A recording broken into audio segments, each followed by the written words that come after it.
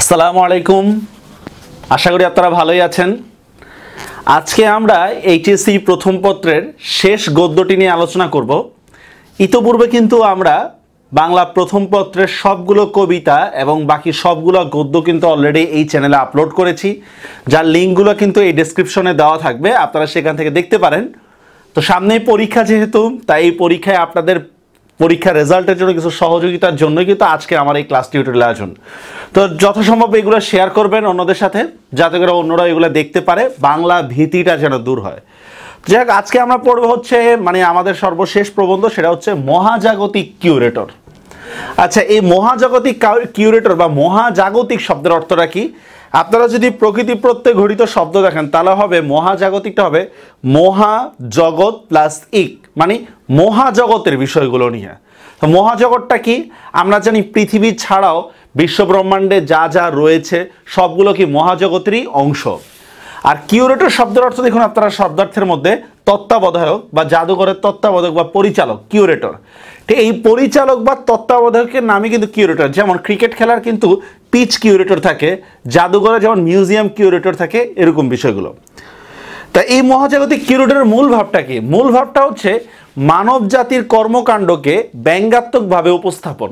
আবারও বলতেছি মানব জাতির কর্মকাণ্ডকে ব্যঙ্গাত্মকভাবে উপস্থাপন। এটা কীভাবে? প্রথমে দেখুন, এই গল্প, এই ইয়াটার মধ্যে, গল্পটার মধ্যে আপনার মানুষের কর্মকাণ্ডগুলোকে মানে পজিটিভ দিকটা তুলে ধরা হয়েছে মানুষ এই এই করছে, এই এই করছে, এই পজিটিভ দিকগুলো। কিন্তু পরবর্তীতে কী করা হলো? যে পজিটিভ দিকগুলো বলার পর তার নেগেটিভ দিকগুলো বলা শুরু করছে। যেখানে দেখা গেল যে তার ইতিবাচক গুণ গুণাবলীর চেয়ে নেতিবাচক গুণাবলী কিন্তু বেশি। যেমন আমি একটা উদাহরণ দিই আপনাদেরকে। কথার কথা মনে করেন যে আমাদের দেশের মানে যারা মানে ক্ষমতায় আছেন, যারা আছেন, তারা মনে করেন চিকি বাংলাদেশের চিকিৎসা ব্যবস্থা নিয়ে অনেক লেকচার ছাড়েন। এ হ্যাঁ আমাদের এই আছে, সে আছে, অনেক কিছু অনেক কিছু অনেক কিছু। আমাদের চিকিৎসা ব্যবস্থা অনেক উন্নতি হয়েছে। কিন্তু নিজেরা সামান্য চেক করতে কিন্তু তারা সিঙ্গাপুরে চলে যান। তারা কিন্তু বিদেশ চলে যান। তারা দেখুন, তিনি যে এত কিছু ঝাড়লেন মানে এত যে বয়ান দিলেন চিকিৎসা ব্যবস্থা নিয়ে নিজে কিন্তু সেটা পালন করতেছেন না। সেম দেখুন, এখানে এরকম যে মানুষের কর্মকাণ্ড কি করা হলো, লেখক কীভাবে তুলে ধরছেন? মানুষ সভ্যতা নির্মাণ করছে, মানুষ এই করছে, সেই করছে, খুব পজিটিভ পরবর্তীতে দেখা গেলো কি, মানুষ বোমা মারামারি শুরু করছে, নিজে একজন আরেকজনের উপর হত্যা করা শুরু করছে, ওজন স্তর মানে বৈজ্ঞানিক ক্ষতিগুলো শুরু করছে। তো মানুষ যদি আসলে বুদ্ধিমান প্রাণী হতো, তাহলে এই ক্ষতিগুলোতে কেন করে? তো এই জিনিসগুলোকে অন্যভাবে সাজায় বলা হবে। তো আমরা শুরু করতেছি মহাজাগতিক কিউরেটর। প্রথমে বলে রাখি, মহাজাগতিক কিউরেটরের মধ্যে কয়টা প্রাণীর কথা আছে। প্রাণী বলতে হচ্ছে এখানে প্রাণী বলে উপস্থাপন করা হয়েছে। ভাইরাস, ব্যাকটেরিয়া, গাছ, হাতি, নীলতিমি, সাপ, পাখি, বাঘ, কুকুর, হরিণ, মানুষ, পিঁপড়া, ডাইনোসর। এই মোট দেখুন এই মোট মানে হচ্ছে প্রায় তেরোটার মতো মানে হচ্ছে প্রাণীর কথা বলা হয়েছে এখানে। এর মধ্যে প্রাণী যদি বলেন, তাহলে আপনি ভাইরাস ব্যাকটেরিয়াকে বাদ দিয়ে দিতে হবে, গাছ উদ্ভিদ সেটা বাদ দিয়ে দিতে হবে, বাকিগুলোকে আপনি প্রাণী হিসেবে ধরতে পারেন। আচ্ছা এবার দেখি এই গল্পের মধ্যে রং আছে কয়টা? কালো, নীল, হলুদ। বাঘের ব্যাপারে বলা হয়েছিল, ডোরা কাটা হলুদ, হলুদের মধ্যে কালো, আর নীল বলা হয়েছে নীল নকশা। তো আমরা শুরু করি মোহাম্মদ জাফর ইকবাল, বাংলাদেশের প্রতিষ্ঠাতা একজন লেখক, মোহাম্মদ জাফর ইকবাল। ওনার সম্পর্কে উনি মানে হচ্ছে মানে বৈজ্ঞানিক কল্পকাহিনীর ব্যাপারে অনেক বিখ্যাত। আপনারা এগুলো পড়ে নেবেন। যাই হোক, শুরু করি আমরা। সৌরজগতের তৃতীয় গ্রহ। আচ্ছা সৌরজগৎ। তাহলে এখান থেকে কোয়েশ্চেন যে সৌরজগৎ যদি বলি, তাহলে সৌরজগৎ কাকে বলে? আপনারা লিখে নিতে পারেন, সূর্যকে কেন্দ্র করে যে জগৎটা গড়ে উঠেছে, তাকে বলা হয় সৌরজগৎ। সূর্যকে কেন্দ্র করে যে জগৎটা গড়ে উঠেছে, তাকে বলা হয় সৌরজগৎ। আর আধুনিক সৌরবিজ্ঞানের জনক হচ্ছে আধুনিক সৌরবিজ্ঞানের জনক হচ্ছে নিকোলাস কোপারনিকাস। নিকোলাস কোপারনিকাস, এটা হচ্ছে, উনি হচ্ছে আধুনিক সৌরবিজ্ঞানের জনক। আর ওনার বাড়ি হচ্ছে পোল্যান্ডে। আচ্ছা সৌরজগতের তৃতীয় গ্রহ, তাহলে প্রথম প্রশ্ন, সৌরজগতের প্রথম গ্রহ কোনটা? আমরা জানি প্রথম গ্রহটা হচ্ছে বুধ, প্রথমটা যদিও এখানে মানে বাংলা ক্লাস বুধ। এরপরেরটা হচ্ছে, দ্বিতীয়টা হচ্ছে অবশ্যই শুক্র। তৃতীয়টা হচ্ছে পৃথিবী। এরপর হচ্ছে, আমরা জানি গ্রহাণুপুঞ্জ নামে একটা কথা আছে, গ্রহাণুপুঞ্জ।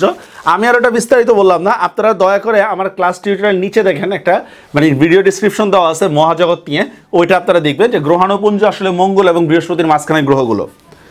আচ্ছা সৌরজগতের তৃতীয় গ্রহটি খুঁটিয়ে খুঁটিয়ে দেখে তারা বেশ সন্তুষ্ট হলো। প্রথম প্রাণীটি বলল, এখানে প্রাণের বিকাশ হয়েছে। কেন প্রাণের বিকাশ হয়েছে? প্রাণের বিকাশের জন্য প্রথম শর্ত হচ্ছে পানি থাকা। আর পৃথিবীর মধ্যে পানি এবং জলবায়ু কি? মানে মানে হচ্ছে আপনার মানুষের প্রাণের অনুকূলে এই জন্য প্রাণের বিকাশ। আর প্রাণের বিকাশ মানে হচ্ছে ভিন্ন ধরনের প্রজাতি মানে বিভিন্ন ধরনের প্রাণের অস্তিত্ব থাকা।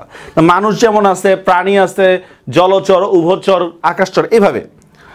হ্যাঁ বেশ পরিণত প্রাণ, অনেক ভিন্ন ভিন্ন ধরনের প্রজাতি একেবারে ক্ষুদ্র এক কোষি থেকে শুরু করে লক্ষ কোটি কোষি প্র- প্রাণী। এক কোষি প্রাণী কোনটা আমরা জানি অ্যামিবা। লক্ষ কোটি কোষি প্রাণী বা বহু কোষি প্রাণী কোনটা মানুষ আর অন্যান্য। বায়োলজির পড়া এগুলা। দ্বিতীয় প্রাণীটি আরেকটু খুঁটিয়ে দেখে বলল, না, আসলে জটিল প্রাণ নয়, খুব সহজ এবং সাধারণ। আচ্ছা কেন কেন সাধারণ বলছো তুমি? তাকিয়ে দেখো কত ভিন্ন ভিন্ন প্রজাতির প্রাণ শুরু হয়েছে ভাইরাস থেকে। তাহলে বলা হচ্ছে, আমরা জানি যে প্রাণী জগতের শুরুটা হচ্ছে অ্যামিবা থেকে মানে মানে বিজ্ঞানের ভাষায়। আর এখানে বলা হচ্ছে, এই গল্প অনুসারে প্রাণী জগতের শুরু কিসের থেকে? ভাইরাস থেকে মানে ক্ষুদ্র অংশ থেকে। প্রকৃতপক্ষে ভাইরাসকে আলাদাভাবে প্রাণহীন বলা যায়। কেন? অন্য প্রাণীর ইয়াতে ছাড়া কিন্তু, সংস্পর্শ ছাড়া কিন্তু ভাইরাস কি করতে পারে না? নিজের মানে জীবন প্রকাশ করতে পারে না। আচ্ছা অন্য কোনো প্রাণীর সংস্পর্শে এলেই তার মধ্যে জীবনের লক্ষণ দেখা দেয়। কার মধ্যে? এই ভাইরাসের মধ্যে। আচ্ছা তারপর রয়েছে এককোষী প্রাণ, পরজীবী ব্যাকটেরিয়া। ভাইরাস এবং ব্যাকটেরিয়ার মধ্যে কিছু পার্থক্য রয়েছে। আপনার স্ক্রিনে দেখুন, এক কোষীয় কোষীয় ইত্যাদি নিয়ে দেখুন। একটু খেয়াল করে দেখুন, তিন চারটা পার্থক্য নিচে স্ক্রিনে দেখা যাচ্ছে। এগুলো হচ্ছে ভাইরাস এবং ব্যাকটেরিয়ার মধ্যে পার্থক্য। তারপর রয়েছে গাছপালা, এক জায়গায় স্থির। গাছপালা এক জায়গায় স্থির। আচ্ছা শাল আলোক সংশ্লেষণ। আলোক সংশ্লেষণ মানে হচ্ছে সূর্যের আলো থেকে যে খাদ্য উৎপাদন করার যে একটা সিস্টেম এটাকে বলা আলোক সংশ্লেষণ বা শালক সংশ্লেষণ। সূর্যের মানে মানে সূর্যের আলো থেকে যে খাবার উৎপাদন করার যে প্রক্রিয়া। আলোক সংশ্লেষণ দিয়ে নিজের খাবার নিজেই তৈরি করে নিচ্ছে। পদ্ধতিটা বেশ চমৎকার। কেন চমৎকার? কারণ বাহ্যিকভাবে বোঝা যাচ্ছে না যে এখান থেকে খাবার সংগ্রহ করা যাচ্ছে। এই যে বাহ্যিকভাবে না দেখা গিয়েও যে খাবার সংগ্রহ করা হচ্ছে এই জন্য বলতেছে পদ্ধতিটা বেশ চমৎকার। গাছপালা ছাড়াও আছে কীটপতঙ্গ তাকিয়ে দেখো কত রকম কীটপতঙ্গ পানিতেও নানা ধরনের প্রাণী আছে, তাদের বেঁচে থাকার পদ্ধতি ভিন্ন। ডাঙাতেও নানা ধরনের প্রাণী আছে, কিছু শীতল রক্তের, কিছু উষ্ণ রক্তের। যেমন ব্যাং আমরা ধরতে পারি, শীতল রক্তের। আর উষ্ণ রক্তের প্রাণী আমরা বাঘ, সিংহ ইত্যাদি। উষ্ণ রক্তের স্তন্যপায়ী প্রাণীদের একটির ভিতর আবার অত্যন্ত নিম্ন শ্রেণির বুদ্ধির বিকাশ হয়েছে। আচ্ছা এটাকে মানে এক একজন এক একভাবে ইয়ে করে, এটাকে মানুষের দিকে ইঙ্গিত করাটাই কিন্তু শ্রেয়। কারণ প্রাণী জগতের মধ্যে একমাত্র বুদ্ধিমান প্রাণী কিন্তু হচ্ছে মানুষ। তো নিম্ন শ্রেণির বুদ্ধির বিকাশ হয়েছে কেন নিম্ন শ্রেণির বুদ্ধি? এখানে কিন্তু কটাক্ষটা করা হয়েছে। কারণ মানুষ তার পরবর্তীতে যে কর্মকাণ্ড যে পরিচালনা করেছে, তাতে বোঝা যাচ্ছে না সে উঁচু শ্রেণির বুদ্ধিওয়ালা। সে নিম্ন শ্রেণির বুদ্ধিওয়ালায় দেখা যাচ্ছে। কোথাও কোথাও তারা প্রকৃতিকে নিয়ন্ত্রণ করার চেষ্টা করেছে প্রকৃতিকে নিয়ন্ত্রণ মানে কি হচ্ছে? যেমন আপনার গ্রিন হাউস ইফেক্ট নিয়ে শুনছেন আপনারা কাঁচ কাঁচ লাগায় গ্রিন হাউস ইফেক্ট প্রতিরোধ করা। বা আপনি দেখেন, এই যে জলোচ্ছ্বাস হয় প্রাকৃতিক দুর্যোগ। তো বড় বড় দেশগুলোর মধ্যে যখন জলোচ্ছ্বাস হয় তারা এই করে। প্রাণীর গতি পানির গতিকে কাজে লাগে তারা বিদ্যুৎ উৎপাদন করে। তারা এই যে প্রকৃতিকে নিয়ন্ত্রণ মানে প্রকৃতির যে অবস্থা, যেমন আপনারা ব্রিজের সময় শুনছেন নিশ্চয় নদী শাসন করে, এই জিনিসগুলো মানে প্রকৃতিকে নিয়ন্ত্রণ করার চেষ্টা, নিয়ন্ত্রণ করার চেষ্টা করছে। কিন্তু সব আসলে বাহ্যিক, এই ভিন্ন ভিন্ন প্রজাতির মধ্যে আসলে কোনো মৌলিক পার্থক্য নেই। তাহলে যদি বলা হয় জ্ঞানমূলক কোশ্চেন ভিন্ন ভিন্ন প্রজাতির মধ্যে কি নেই, তখন অ্যান্সারটা হবে কি, মৌলিক কোনো পার্থক্য নেই। প্রথম প্রাণীটি বলল, আমি বুঝতে পারছি না, তুমি কেন এই পার্থক্যকে বাহ্যিক বলছো? তুমি আর একটু খুঁটিয়ে দেখো। এই ভিন্ন ভিন্ন প্রজাতি কি দিয়ে তৈরি হয়েছে? আচ্ছা প্রথম প্রাণীটি একটু খুঁটিয়ে দেখে বিশ্বসূচক শব্দ, সূচক শব্দ করে বলল, তুমি ঠিকই বলেছ, এই প্রাণীগুলো সব একইভাবে তৈরি হয়েছে। সব প্রাণীর মূল গঠনটি হচ্ছে ডিএনএ। আচ্ছা এই ডিএনএ কি আমরা জানি? যে ডিঅক্স, ডি মানে হচ্ছে এই ডিএনএ, দেখেন nuclear acid, deoxyribo nuclear acid. এই যে নিউক্লিক অ্যাসিড বা আপনারা দেখেন স্ক্রিনের মধ্যে ডিএনএর জনককে দেখুন, জেমস ওয়াটসন, ফ্রান্সিস ক্রিক, তাদের সম্পর্কে বিস্তারিত দেওয়া আছে স্ক্রিনের মধ্যে। একটু দেখে নিন যে এই ডিএনএ, কারণ সব প্রাণীর গঠনটা হচ্ছে ডিএনএ। আপনারা জানেন যে বাবার সন্তান কিনা বা চুল বা ইত্যাদি মানে অঙ্গ প্রত্যঙ্গের ডিএনএ টেস্ট করে কিন্তু আপনার, আমরা জন্ম বা বংশগতি সম্পর্কেও কিন্তু জানতে পারি। আচ্ছা সব প্রাণীর ডিএনএ একই রকম, সবগুলোর একই বেস পেয়ার দিয়ে তৈরি। এটা সায়েন্সের মানে বায়োলজির একটা বেস পেয়ার মানুষের শারীরিক গঠনের মধ্যে রয়েছে, সব প্রাণীরই। সবচেয়ে সহজ এবং সবচেয়ে জটিল প্রাণীটির একই রকম গঠন, প্রাণী বিকাশের নীল নকশা। নীল নকশাকে বলা হচ্ছে ব্লু প্রিন্ট ইংরেজিতে। আচ্ছা এই ব্লু প্রিন্ট কি? আপনারা দেখবেন ল্যাবরেটরিতে যে কোনো জিনিসের মানে গবেষণা করার জন্য তার পরীক্ষামূলক একটা স্যাম্পল নিয়ে কিন্তু গবেষণা করে। এটাকে বলা হচ্ছে ব্লু প্রিন্ট মানে যেটাকে আমরা বলতে পারি নকশা, নীল নকশা। যেমন বাড়ি করার সময় ইঞ্জিনিয়ার দেখবেন কিছু নকশা বানায় মানে ফার্স্ট এই নকশাগুলোকে আমরা বাড়ির কাঠামোর মেইন বলি না, ঠিক ল্যাবরেটরির মধ্যে কিন্তু সেম আচ্ছা ডিএনএ কোনো প্রাণীর নীল নকশা সহজ, কোনো প্রাণীর নীল নকশা জটিল, এইটুকুই হচ্ছে পার্থক্য। তাহলে কোশ্চেন যে সবগুলো প্রাণীর মধ্যে পার্থক্যটা কোথায়? যে কোনো প্রাণীর ব্লু প্রিন্টটা বা নীল নকশাটা সহজ গঠনে, আর কোনো প্রাণীর নীল নকশাটা জটিল, এটাই হচ্ছে পার্থক্য। হ্যাঁ দ্বিতীয় প্রাণীটি বলল, আমরা বিশ্ব ব্রহ্মাণ্ড। অনেকে বলতে পারে এই প্রাণী মানে হচ্ছে এলিয়েন হ্যাঁ এলিয়েন হইতে পারে। এটা একটা, যেহেতু একটা মানে কল্প কাহিনীতে এলিয়েনই আমরা ধরি। বিশ্ব ব্রহ্মাণ্ডের সব গ্রহ নক্ষত্র আচ্ছা গ্রহ এবং নক্ষত্রের মধ্যে পার্থক্য কি? খুবই সহজ, আপনারা একটু দেখেন যে গ্রহ মানে হচ্ছে যার মানে গ্রহ আলো নেই মানে নিজস্ব আলো নেই। আর নক্ষত্র আলো আছে মানে নিজস্ব আলো আছে। এই তো হচ্ছে পার্থক্য গ্রহ এবং নক্ষত্রের মধ্যে। অনেকে আমরা এটা বলতে পারি না কিন্তু। আচ্ছা গ্রহ নক্ষত্রগুলোর শ্রেষ্ঠ প্রাণীগুলোকে সংগ্রহ করে নিয়ে যাচ্ছি, কাজটি সহজ নয়। এই গ্রহ থেকেও সর্বশ্রেষ্ঠ প্রাণীটি খুঁজে নিয়ে বের করতে হবে। এখন কোশ্চেন অন্য গ্রহ কি প্রাণী আছে? এক একজন বলে একা আছে, যেমন স্টিফেন হকিং বলছে যে অন্য ইয়াতে থাকতে পারে। তো এইগুলো বৈজ্ঞানিক থিওরি, হয়তো একশো বছর পর চেঞ্জ হবে, পঞ্চাশ বছর পর চেঞ্জ হবে, আমাদের এটা দরকার নেই। যেহেতু সবগুলো প্রাণীর গঠন একই রকম, কাজটি আরও কঠিন হয়ে গেল। তাহলে কোশ্চেন যদি করা হয় কিউরেটরদের কাজটা কঠিন হয়ে যাওয়ার কারণ কি? তাহলে অ্যান্সারটা হবে কি? যে সবগুলো প্রাণী দেখতে একই রকম বা গঠন একই রকম এই জন্য কিউরেটরদের কাজটা কঠিন হয়ে গেছে। আচ্ছা হ্যাঁ দ্বিতীয় প্রাণীটি সরি সময় নষ্ট না করে কাজ শুরু করে দেওয়া যাক হ্যাঁ। এই ভাইরাস কিংবা ব্যাকটেরিয়া এত বেশি ছোট, এর গঠন এত সহজ, এর মধ্যে কোনো বৈচিত্র্য নেই। তাহলে এখান থেকে কোশ্চেন যে প্রাণীর মধ্যে আসলে আমরা জাদুঘরে কোন ধরনের প্রাণীগুলো রাখি? যেগুলোর বৈচিত্র্য আছে নাকি যেগুলোর বৈচিত্র্য নাই? খুব সহজ অ্যান্সার যে যেগুলোর বৈচিত্র্য আছে। গরুর চার পা, এটা কিন্তু জাদুঘরে থাকবে না, কিন্তু গরুর পাঁচ পা, এটা কিন্তু জাদুঘরে থাকবে। আচ্ছা কোনো বৈচিত্র্য নেই। হ্যাঁ ঠিকই বলছো। আবার এই হাতি বা নীল তুমি নিয়েও কাজ দিয়ে এদের আকার বেশি বড়। তাহলে জাদুঘরে কিন্তু বেশি বড় জিনিস রাখা হয় না। সংরক্ষণ করা কঠিন হবে। তাহলে কোশ্চেন যদি করা, হাতি বা নীল তুমি না নেওয়ার কারণ কি? অ্যান্সারটা কি হবে? সংরক্ষণ করা কঠিন। গাছপালা নেওয়ার প্রয়োজন নাই, এরা এক জায়গায় স্থির থাকে। যেখানে গতিশীল প্রাণী আছে, সেখানে স্থির প্রাণ নেওয়ার কোনো অর্থ হয় না। ঠিক এটাই বাস্তবতা। তো এখানে যদি আমরা একটু ঘুরে বলি, যে যেখানে কর্মঠ ব্যক্তি আছে, সেখানে কোনো অলস কর্মচারীকে নিয়োগ দেওয়া হবে না। এই জন্যই যে যারা প্র্যাকটিস করবে, যারা চেষ্টা করবে, তারাই সফল হবে। এই প্রাণীটির সম্পর্কে তোমার ধারণা কি? একে বলে সাপ। এই সাপের প্রসঙ্গটা কিন্তু আপনারা আরও কয়েক জায়গায় পাবেন। আমি বলে দিচ্ছি, এই সাপের প্রসঙ্গটা আপনারা পাবেন হচ্ছে আপনারা বিভীষণের প্রতি মেঘনাথ ওইখানে কিন্তু ফণি দিয়া কয়ারটা আছে।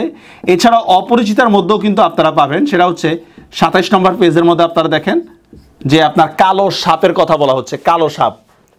আচ্ছা এই সাপ সরি এই সাপ সাপ বেশ কৌতূহল উদ্দীপক কেন কৌতূহল উদ্দীপক দেখেন, সাপটা দেখতে কিন্তু সুন্দর দেখা যায়, কালার সেই। আবার দেখেন, সাপ কি করে? শীতের মধ্যে জমে যায়। কৌতূহল উদ্দীপক বলতেছে, দেখুন। আবার সাপ, আবার জানি সাপ অনেক সময় ঘুমায় কাটায় কি বলতেছে, দেখুন? কিন্তু এটা সরীসৃপ। সরীসৃপ মানে হচ্ছে যারা বুকে ভর দিয়ে হাঁটে। সরীসৃপের দেহের তাপমাত্রা নিয়ন্ত্রিত নয়। ঠান্ডার মাঝে এরা কেমন স্থবির হয়ে পড়ে, প্রাণী জগতে সরীসৃপ একটু পিছিয়ে পড়া প্রাণী। যদি কোশ্চেন করা হয়, প্রাণী জগতে কেন সরীসৃপ পিছিয়ে পড়া প্রাণী, তাহলে হবে কি? যে তাদের দেহের তাপমাত্রা নিয়ন্ত্রিত নয় মানে ঠান্ডার মধ্যে তারা নিজেকে নিজেকে নিয়ন্ত্রণ রাখতে পারে না। ঠিকই বলেছ, তাহলে সরীসৃপ নিয়ে কাজ নেই। প্রথম প্রাণীটি বলল, আমার এই প্রাণীটি খুব পছন্দ হয়েছে। একে বলে কি? পাখি। কি চমৎকার আকাশে উঠতে পারে। তাহলে কোশ্চেন যদি করা হয় আপনাদের, যে কিউরেটরদের প্রথম কোন প্রাণীটা পছন্দ হয়, আপনারা কিন্তু মানুষ দিবেন না, সেটা হবে পাখি। হ্যাঁ দ্বিতীয় প্রাণীটি বলে হ্যাঁ এটা আমারও পছন্দ হয়েছে, আমরা এই প্রাণীটিকে নিতে পারি। তবে তবে কি, এদের বুদ্ধিমত্তা সম্পর্কে আমি খুব নিশ্চিত নই। কেন নিশ্চিত নয় দেখুন, পাখি কিন্তু ডিম পাড়ে, আর ডিম পেড়ে কিন্তু সে খাবার সংগ্রহে যায়। এই যে ডিম পেড়ে যে খাবার সংগ্রহে যাওয়াটা, তার বাচ্চাকে কিন্তু একটা আনসেফ রাখতেছে। তো যে যার যে তার বাচ্চাকে সেফ রাখতে পারতেছে না, সে অন্যকে সেভ করবে কীভাবে? বিষয়গুলো হচ্ছে এরকম। বুদ্ধিমত্তা সম্পর্কে আমি খুব নিশ্চিত নয় কারণ হচ্ছে মানে সভ্যতা গঠন করেছে কিন্তু স্তন্যপায়ী প্রাণীরা। আমাদেরকে এমন কোনো প্রাণী নেওয়া উচিত নয় যারা বুদ্ধিমত্তার পরিচয় দিয়েছে, যারা কোনো ধরনের সভ্যতা গড়ে তুলেছে। তাহলে কি চেহারা দেখে কিন্তু নিচ্ছে না। নিচ্ছে হচ্ছে কর্মকাণ্ড দেখে। ঠিকই বলেছ, তাহলে আমাদের কাদের নিতে হবে? স্তন্যপায়ী প্রাণীদের। এই যে আমি একটু বললাম যে বুদ্ধিমত্তার পরিচয় দিয়েছে কারা, সেটা হচ্ছে স্তন্যপায়ী প্রাণীরা, কারণ তারা প্রথমে নিজেদের বাচ্চাদেরকে সেভ করে। তারা যারা বাচ্চাদেরকে সেভ করতে পারে না, তারা হচ্ছে বুদ্ধিমান না। আচ্ছা তাহলে আমাদের স্তন্যপায়ী প্রাণী দেখেন। এই দেখো, এটা একটা স্তন্যপায়ী প্রাণী। কি সুন্দর, হলুদের মাঝে কালো ডোরা কাটা এর নাম বাঘ। হ্যাঁ প্রাণীটি চমৎকার। কেন চমৎকার? তার কালারের কারণে, রঙের কারণে। কিন্তু এটি একা একা থাকতে পছন্দ করে অসামাজিক প্রাণী। কারণ আপনারা দেখবেন, বাঘ, সিংহ, এরা একসাথে থাকে না, একা একা থাকে, নিজে নিজে শিকার সংগ্রহ করে খায়। একটা সামাজিক প্রাণী নিতে পারি না? কুকুরকে নিলে কেমন হয়? একবার অতিরিক্ত সামাজিক। যেখানে যাবে, সব একসাথে ঘুরবে। খাবার দিলে একসাথে মানে মারামারি করবে। এরা একসাথে থাকে, দল বেঁধে ঘুরোয়, ঘুরে। প্রথম প্রাণীটি বলল, এই প্রাণীটিকে মানুষ পোষ বানিয়ে রেখেছে প্রাণীটা নিজের স্বকীয়তা হারিয়ে ফেলেছে। তাহলে অ্যান্সার হলো, প্রাণী নিজের স্বকীয়তা হারিয়ে ফেলছে মানে কি? সে যখন মানুষের অধীনে থাকবে, তাহলে খুব স্বাভাবিক মানুষের অধীনে যখন থাকবে, তাহলে তার নিজের যে একটা প্রাণিত্ব বোধ যেটা রয়েছে, সেটা অনেকটা কমে যাবে। কথার কথা মনে করেন, যে অন্যের অধীনে চাকরি করে, সে কিন্তু চাইলেও কিন্তু তার বসের অনেক অন্যায়ের কথা বলতে পারে না। তাহলে তার সততার যে ন্যাচারাল গুণটা, সেটা অনেকটা অবদমিত হয়ে যায় কিন্তু অন্যের অধীনে থাকলে। ঠিকই বলেছ, গৃহপালিত প্রাণীগুলোর মধ্যে স্বকীয়তা লোপ পেয়েছে। কেন স্বকীয়তা লোপ পেয়েছে? কারণ সে মানুষের মধ্যে রয়েছে আর তার মধ্যে যে প্রাণিত্ববোধক যে তেজটা, সেটা নেই। একটা খাঁটি প্রাণী না, প্রাণী নেওয়া প্রয়োজন। হরিণ নিলে কেমন? খাঁটি প্রাণী বলতে কি? যার মধ্যে এখনও পরিপূর্ণভাবে প্রাণীর বৈশিষ্ট্য রয়েছে। আপনি দেখেন, গরু, ছাগল মানুষের কথা শুনতে বাধ্য। বাঘ কি মানুষের কথা শুনে সার্কাস হলে সেটা আবার ভিন্ন কথা। সার্কাসের মধ্যে আপনারা দেখবেন যে আগে বাঘটাকে ট্রেনিং দেওয়ায়। সরাসরি না কিন্তু। হরিণ নিলে কেমন হয়? তৃণভোজী প্রাণী। এর অর্থ জানো? তৃণভোজী মানে কি দেখেন? এরা দীর্ঘ সময় ধরে খায়। তাহলে যারা সারাক্ষণ ধরে খায়, তারাও কিন্তু অ্যাকসেপ্টেবল না। কিন্তু আমাদের বিভিন্ন বিজ্ঞাপনে দেখবেন যে খাওয়ার বিজ্ঞাপন, শুধু খায় আর খায়। বেশিরভাগ সময় এটা ঘাস লতা পাতা খেয়ে কাটায়। তাকে খাবারের মধ্যেই যা সারা জীবন, সে কীভাবে সভ্যতা গড়ে তুলবে? ঠিকই বলেছে। আমরা দেখছি কোনো প্রাণী পছন্দ করতে পারছি না। আমার একটা জিনিস মনে হচ্ছে কি, এই গ্রহটিতে যে প্রাণীটি সবচেয়ে বেশি আলোড়ন সৃষ্টি করেছে, সেই প্রাণীকে নিলে কেমন হয়? কোন প্রাণীর কথা বলছো? মানুষ? হ্যাঁ দেখো, এদের একটা সামাজিক ব্যবস্থা আছে, সমাজবদ্ধ হয়ে থাকে। মানুষ সামাজিক জীব, যে সমাজে বাস করে না, সে হয় দেবতা, নয় তার শয়তান। একটা উক্তি আছে এরকম। তো এই ফেরেস্তা বা দেবতা সরি ফেরেস্তা বা শয়তান। তো এটা কার উক্তি? এটা হচ্ছে অ্যারিস্টটলের উক্তি যে মানুষ সামাজিক জীব। সমাজবদ্ধ হয়ে থাকে তা আমরাও কিন্তু সমাজবদ্ধ হয়ে থাকি। তবে এখনকার সময় বেশিরভাগ সময় দেখা যায় অন্যায়ের ক্ষেত্রে আমার আমরা সমাজবদ্ধ ভালো কাজের ক্ষেত্রে না। একটা এক্সাম্পল দিচ্ছি যদিও অপ্রাসঙ্গিক মনে হতে পারে অনেক কাছে। আপনারা দেখবেন বাসে ওঠার পর অনেকে আছেন যে যারা ন্যায্য ভাড়াটা কম দেওয়ার চেষ্টা করে তাদের কোনো ইয়া নেই। কম তো দেয় কথা কথা বিশ টাকার ভাড়া সে পনেরো টাকা দিচ্ছে। হেল্পার যখন বলে যে ভাই পনেরো টাকা ভাড়া না বিশ টাকা ভাড়া। এবার সে কি বলে "আহ, আমি কি আজকে নতুন যাচ্ছি নাকি? এই সেই ইত্যাদিতে পাশের থেকে কিন্তু কোনো লোক কিন্তু প্রতিবাদ করে না। তো এরকম যে গরিবরে মারার ক্ষেত্রে কিন্তু আমরা সমাজবদ্ধ না। আমরা গরিবরে মারার ক্ষেত্রে সমাজবদ্ধ, গরিবকে বা অন্যায়ের প্রতিবাদের ক্ষেত্রে আমরা সমাজবদ্ধ না। আজকে যদি রাস্তায় একটা মানুষকে খুন করা হয় বা রাস্তায় একটা মানুষকে মারা হয়, আমরা কি করব? কেচি রেটটা আটকায় দিব, যাতে করে ওই লোকটা যদি কোনো রকম বাইচে আমার ঘরের মধ্যে না আসতে পারে। যাক, আসলে অনেক কিছুই আমাদের মধ্যে হারিয়ে গেছে। এদের কেউ শ্রমিক, কেউ সৈনিক, কেউ বুদ্ধিজীবী, যাদেরকে রাত্রেবেলা দেখা যায় টকশোতে ঠিকই বলেছ এই দেখো, এরা শহর বন্দর নগর তৈরি করেছে। কত বিশাল বিশাল নগর তৈরি করেছে, ওকে? শুধু তাই না, এরা চাষাবাদ করছে, পশুপালন করতেছে। মানে নিজের খাদ্য নিজে সংগ্রহ করতেছে, আবার সেই খাদ্য তারা জমায়ও রাখতে পারতেছে। আচ্ছা যখন কোনো সমস্যা হয়, তখন তারা দলবদ্ধভাবে সেটা সমাধানের চেষ্টা করে। হ্যাঁ এটা আগে ছিল, এখন সময় অনেক কমে গেছে। নিজেদের সভ্যতা গড়ে তোলার জন্য এরা কত আত্মত্যাগ করছে। কেমন আত্মত্যাগ? কথার কথা মনে করেন, আমি লাইনটা দিলাম যে ভাষার জন্য আমাদের আত্মত্যাগ, দেশ স্বাধীন হওয়ার জন্য আমাদের আত্মত্যাগ মানে হচ্ছে যে কোনো কাজের জন্য এরা নিজেদের জীবন পর্যন্ত দিতে পারে। কিন্তু আমার একটা জিনিস মনে হচ্ছে কি, তুমি কি সত্যি বিশ্বাস করো মানুষ এই গ্রহের শ্রেষ্ঠ প্রাণী? তুমি কেন এটা জিজ্ঞেস করছ? এই পৃথিবীর দিকে তাকাও। দেখেছ বাতাসে কত দূষিত পদার্থ, কত তেজস্ক্রিয় পদার্থ বাতাসের ওজন স্তর মানে আলট্রাভায়োলেট রাশি, যেটা ভাষা বাতাসের ওজন স্তর কিন্তু আমাদেরকে অতি বেগুনি রশ্মি থেকে আমাদেরকে বাঁচিয়ে রাখে সেভ রাখে। আর বাতাসের মধ্যে কিন্তু মানে কয়েকটা স্তর আছে আপনারা ভূগোলের আমার ভিডিওগুলো দেখলে পাবেন। গাছ কেটে কত বিস্তীর্ণ এলাকা ধ্বংস করে দেখছে দেখ- করছে, দেখছ? তা এগুলো কি করতেছে? মানুষ। তো মানুষ যদি বুদ্ধিমান প্রাণী হয়, তাহলে এই কাজগুলো করব করল কীভাবে? এই জন্য বলেছিলাম, এই গল্পটার মূল ভাবটাই হচ্ছে কি মানব জাতির কর্মকাণ্ডকে ব্যঙ্গাত্মকভাবে উপস্থাপন। এর সবই কি মানুষ করেছে? হ্যাঁ কি আশ্চর্য? আমি ভেবেছিলাম এরা বুদ্ধিমান প্রাণী। এরা একে অন্যর উপর নিউক্লিয়ার বোমা ফেলতেছে, পারমাণবিক বোমা ফেলতেছে। যেমন উনিশশো পঁয়তাল্লিশ সালে কিন্তু আমেরিকা হিরোসীমায় নাগাসাকি জাপানের উপর ফেলাইছে। যুদ্ধ করে একজন আরেকজনকে ধ্বংস করে ফেলতেছে। প্রকৃতিকে এরা দূষিত করে ফেলতেছে। তাহলে মানুষ যদি বুদ্ধিমান প্রাণী হয়, তাহলে এই কাজগুলো করতেছে কেন? ঠিকই বলেছ। প্রাণী দুটি বেশ কিছুক্ষণ মনোযোগ দিয়ে মানুষকে লক্ষ্য করল। তারপর প্রথম প্রাণীটি বলল, না মানুষকে নেওয়া ঠিক হবে না? এরা মাত্র দুই মিলিয়ন। দুই মিলিয়ন মানে হচ্ছে বিশ লক্ষ। দুই মিলিয়ন বছর আগে জন্ম নিয়েছে, কিন্তু এর মাঝে যে নিজেদের জীবন বিপন্ন করেছে শুধু তাই নয়, পুরা গ্রহটাকে এরা ধ্বংস করে ফেলার অবস্থা করছে। তাহলে মানুষ কেন বুদ্ধিমান না? এই যে বললাম না যে মানুষ বুদ্ধিমান ছিল বুদ্ধিমান কি আর এই কাজটা করতে পারে কিনা? পুরা গ্রহটাকে ধ্বংস করে ফেলার ব্যবস্থা করতেছে। দ্বিতীয় প্রাণীটি বলল মহাজাগতিক কাউন্সিল। কাউন্সিল মানে বলতে পারি আমরা কর্তৃপক্ষ। মহাজাগতিক কর্তৃপক্ষ আমাদের কিউরেটর মানে প্রাণী সংগ্রহের দায়িত্ব দিয়েছে।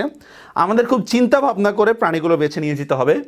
এই সুন্দর গ্রহ থেকে এরকম স্বেচ্ছা ধ্বংসকারী প্রাণী আমরা নিতে পারি না। তাহলে মানুষের মেইন ব্যাড ইফেক্ট কোনটা? সে হচ্ছে স্বেচ্ছা ধ্বংসকারী আপনাদের কিন্তু কোশ্চেন এমন আসতে পারে যে কুকুরকে কেন নিল না কিউরেটর? তাহলে অ্যান্সারটা কি হবে? তাদের মধ্যে প্রাণিত্ব বোধটা কমে গেছে। হরিণকে কেন নিল না? তারা দীর্ঘ সময় ধরে খায়। এখন মানুষকে কেন নিল না? তার অ্যান্সারটা কি হবে? এরা স্বেচ্ছা ধ্বংসকারী প্রাণী। কিছুতেই নিতে পারি না। প্রাণী দুটি কিছুক্ষণ চুপ করে থাকে এবং হঠাৎ করে প্রথম প্রাণীটি আনন্দের ধ্বনি দিয়ে উঠে। দ্বিতীয় প্রাণীটি অবাক হয়ে বলল, কি হয়েছে? আমি একটা প্রাণী খুঁজে পেয়েছি। এরাও সামাজিক প্রাণী। এরাও দল বেঁধে থাকে। এদের মধ্যে শ্রমিক আছে, সৈনিক আছে। বংশ বিস্তারের জন্য চমৎকার একটা পদ্ধতি আছে। বলা হয়ে থাকে একটা পিঁপড়া নাকি দশ হাজার ডিম পাড়ে। দেখো, নিজেদের থাকার জন্য কি চমৎকার বিশাল বাসস্থান করেছে। আচ্ছা এটাকে কেন বিশাল বলতেছে? লেখেন, আয়তনের তুলনায় তার আয়তনের তুলনায় বিশাল। কারণ পিঁপড়া একটা ছোট্ট একটা জিনিস। কিন্তু তার বাসাটা দেখবেন যদি এক বিগত হয়, তাহলে তার আয়তনের হচ্ছে বাসাটা অনেক বড় না? এটা বলতেছে বিশাল। দ্বিতীয় প্রাণীটি বলল, ঠিকই বলেছ, দেখো, এরাও মানুষের মতো চাষাবাদ করতে পারে। চাষাবাদ বলতে কি, এখানে ওরা কি, চাষাবাদ বলতে হচ্ছে খাদ্য সংগ্রহ বা খাদ্য খাদ্য সংগ্রহ করতেছে এরা। মানুষ যেরকম নিজেদের সুবিধার জন্য পশুপালন করতে পারে, এরাও ঠিক সেরকম ব্যবস্থা। পিঁপড়া পশুপালন করবে থেকে? পিঁপড়া মানে হচ্ছে খাদ্য জমায় রাখতে পারতেছে এখানে। কি সুশৃঙ্খল প্রাণী? কেন সুশৃঙ্খল প্রাণী? কারণ হচ্ছে আমরা জানি পিঁপড়া রানীর আদেশ ছাড়া কিছু করে না, বা আপনারা দেখবেন একটা পিঁপড়া আরেকটা পিঁপড়াকে যখন ক্রস করে, একজন আরেকজনের সাথে কিন্তু কথা বলে নেয়। তো এখানেও বাংলা লিঙ্ক বা কোনো ফোন কোম্পানি নেই, কিন্তু কথা বলতেছে। শুধু সুশৃঙ্খল নয়, এরা অসম্ভব পরিশ্রমী। গায়ের চেয়ে গায়ে প্রচণ্ড জ্বর, নিজের জোর, নিজের শরীর থেকেও দশ গুণ বেশি জিনিস অনায়াসে নিয়ে যেতে পারে। তাহলে নিশ্চয়ই বোঝা যাচ্ছে যে পিঁপড়া কেন পরিশ্রমী, দশ গুণ বেশি জিনিস নিয়ে যাচ্ছে? আমরাও পরিশ্রমী, তবে একটু ব্যঙ্গাত্মকভাবে বলতেছি। আমাদের বাচ্চা কাচ্চাদের স্কুলের ব্যাগগুলো দেখলে মনে হয় আমরা মনে হয় পিঁপড়া থেকে এই অনুপ্রেরণাগুলো পেয়েছি। বাচ্চাটা যদি হয় পাঁচ বছরের, তার স্কুল ব্যাগটা হচ্ছে মনে করি ছয় থেকে সাত কেজি। তো এই বাচ্চা আর ব্যাগের চাপে কিন্তু চাপে কিন্তু আর লম্বা হয় না এসে খ্যাটই থেকে যায়। আল্লাহ জানে আমরা কতটুকু বিদ্যান বানাচ্ছি এদেরকে। হ্যাঁ কোনো ঝগড়া বিবাদ নেই। কে কোন কাজ করবে আগে থেকে ঠিক করে রেখেছে। কোনো রকম অভিযোগ নেই যে যার দায়িত্ব পালন করে যাচ্ছে অত্যন্ত সুবিবেচক। সুবিবেচক মানে কি? নিজের ক্ষতি নিজে করতেছে না, অন্যদের সাথে কোনো বিশৃঙ্খলা করতেছে না এবং নিজে খাদ্য সংগ্রহ করতেছে। এটাই হচ্ছে সুবিবেচনার কাজ। আগে থেকে খাবার জমিয়ে রাখছে। আমরা জানি পিঁপড়া বর্ষাকালে যেহেতু পানি থাকে এই জন্য গ্রীষ্মকালে তারা খাবার জমিয়ে রাখে। কখনো বিপদে দিশেহারা হয় না। কোনো রকম অভিযোগ নেই, যার দায়িত্ব সে পালন করতেছে। সরি অন্যকে বাঁচানোর জন্য অকাতরে প্রাণ দিয়ে যাচ্ছে। আপনারা দেখবেন একটা পিঁপড়াকে মেরে রেখে দিলে আর একটা পিঁপড়া কিন্তু তার লাশ নেওয়ার জন্য কিন্তু আসবে। তো এইভাবে কিন্তু অকাতরে প্রাণ দিয়ে যাচ্ছে। মানুষের বয়স মাত্র দুই মিলিয়ন বছর আগে, সেই তুলনায় এরা ডাইনোসরের যুগ থেকে বেঁচে আছে। সেই তুলনায় এরা ডাইনোসরের যুগ থেকে বেঁচে আছে। প্রকৃতির এতটুকু ক্ষতি ক্ষতি করেনি। আচ্ছা কেন ক্ষতি করেনি? আসলে ক্ষতি করার সাধ্য তো তার নাই, এজন্য। আচ্ছা আমি নিশ্চিত মানুষ নিজেদের ধ্বংস করে ফেলার পরও এরা বেঁচে থাকবে। পৃথিবীকে একসময় এরাই নিয়ন্ত্রণ করবে। তো এটা কোনো মানে রিলিজিয়াস কোনো বিষয় না। এটা হচ্ছে মানে হচ্ছে একটা নিজের কথা বলা হচ্ছে। এটা বৈজ্ঞানিকরা অনেক কথাই বলে। ঠিক সেম ঠিকই বলেছ, তাহলে আমরা এই প্রাণীটিকে নিয়ে যাই। হ্যাঁ পৃথিবীর এই চমৎকার প্রাণীটা নেওয়াটাই সবচেয়ে সুবিবেচনার কাজ হবে। দুজন মহাজাগতিক কিউরেটর সৌরজগতের তৃতীয় গ্রহটি থেকে কয়েকটি পিঁপড়া তুলে নিয়ে গ্যালাক্সি গ্যালাক্সি শব্দের অর্থ কি? ছায়াপথ। গ্যালাক্সির অন্য গ্রহ নক্ষত্র রওনা দেয়। দীর্ঘদিন থেকে বিশ্ব ব্রহ্মাণ্ড ঘুরে ঘুরে তারা গুরুত্বপূর্ণ প্রাণী সংগ্রহ করছে। তারা এখন যদি কোশ্চেন করা হয় যে তাদের এই সৌরজগতের তৃতীয় গ্রহটা ভ্রমণ যে উদ্দেশ্যটা ছিল সেটা কি সফল হয়েছে কিনা? অ্যান্সার হবে, অবশ্যই সঠিক হয়েছে। আর এটা কোত্থেকে নেওয়া হচ্ছে এটা? দেখেন মহাজাগতিক কিরোট এটা জলজ গ্রন্থ থেকে নেওয়া হয়েছে সায়েন্স ফিকশন সমগ্র দুই হাজার দুই সাল থেকে এটা মানে এটা প্রা- প্রকাশ পায়। আর এখানে আমি মেনলি বলেছিলাম যে মানব জাতির কর্মকাণ্ডকে ব্যঙ্গাত্মকভাবে উপস্থাপনটাই হচ্ছে এই ইয়ার উদ্দেশ্য। তো এই ছিল হচ্ছে আমাদের এইচএসসি বাংলা প্রথম পত্রের শেষ ক্লাস অলরেডি আমরা কিন্তু সবগুলো গদ্য, সবগুলো পদ্য আপনাদের ক্লাসে আপলোড দিয়েছি। পরীক্ষা কিন্তু খুবই সামনে, আর বাংলা পরীক্ষাটা কিন্তু সর্বপ্রথম থাকে। তো এই বাংলা ভীতিটা দূর করার জন্য আপনার যেমন উপকার হচ্ছে, আপনার বন্ধুদের জন্য উপকার হয় সেই জন্য অন্যদের সাথে শেয়ার করবেন এই জিনিসগুলো। নিজেরাও কিন্তু সাবস্ক্রাইব করে পাশে থাকবেন। পরবর্তী কোনো ক্লাস লেকচারে বিশেষ করে রিটেন ডকুমেন্ট মানে বিষয়গুলো নিয়ে আমি উপস্থিত হব ইনশাল্লাহ ততক্ষণ পর্যন্ত বিদায়। আল্লাহ হাফেজ।